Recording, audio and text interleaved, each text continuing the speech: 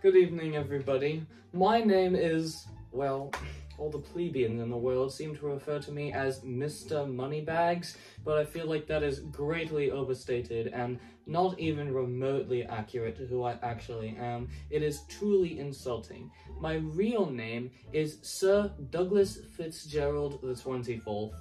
twice removed. And because I know that you're all curious, because this is a type of conversations that plebeians have every day, my net worth is approximately 55 bajillion dollars. So I'm probably worth more than your mom. So I have been graciously requested to come here and show off my loadout if I were to play in a Nerf game, which I do take pride in attending often.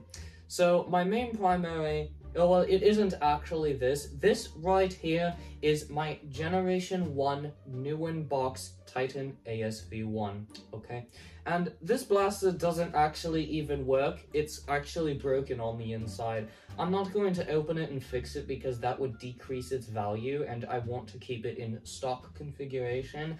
But I mainly just carry this around everywhere I can go so I can show everybody else in the room that I have an original Generation 1 Titan rocket. But if we move all of these things aside, carefully lay them down on the floor, I can show you my true loadout. So you are probably expecting me to do something cool where I open my jacket Superman style and my tactical loadout is inside, but that wouldn't be expensive enough. So what I have done is underneath my expensive first century steampunk style jacket, I have a Victorian era British steampunk vest, which is just as expensive as the jacket and I must gracefully unbutton all four buttons before carefully zipping this down the middle, and then once again Superman style opening this to expose my first generation Nerf N-Strike Tactical Vest Extraordinary. And from the back you can see that my primary is a fully intact Raven Stinger model, exclusively because this is the most expensive and hard to find version of the Stinger, or the, the, expensive and hard to find version of the Raven.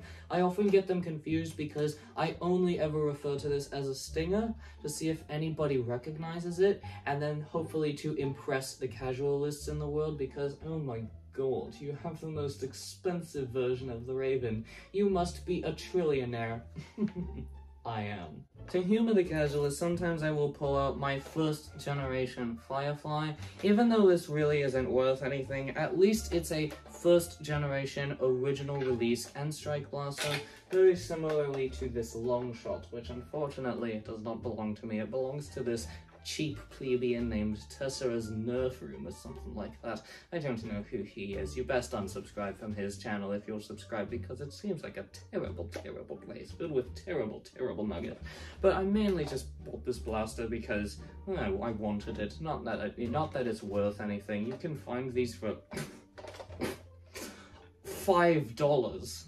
Ugh, not nearly enough money to breathe in this room, but Luckily, there is more to my loadout. I usually don't stick with that for very long before I switch to my most precious primary out here, a first generation modified Doomlands The Judge.